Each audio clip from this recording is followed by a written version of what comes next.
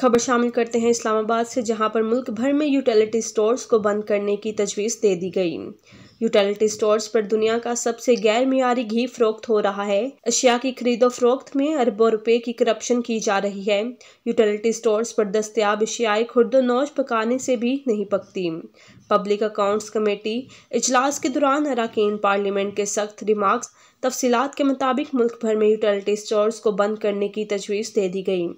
Public accounts committee इजलास के दौरान अरकान पार्लियामेंट की जानब से यूटिलिटी स्टोर्स के अदारे से मतलब सख्त रिमार्क्स दिए गए।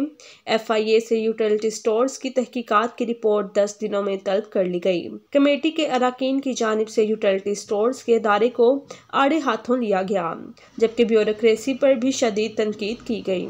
चेयरमैन कमेटी राना तनवीर ने कहा है कि यूटिलिटी स्टोर्स ने अरकान पार्लियामेंट और अवाम को बेवकूफ़ बना रखा है। यूटिलिटी स्टोर्स पर दुनिया का सबसे गैर मीयारी घी फरोख्त हो रहा है, जबकि एशिया की खरीदो फरोख्त में अरबों रुपए की करप्शन की जा रही है।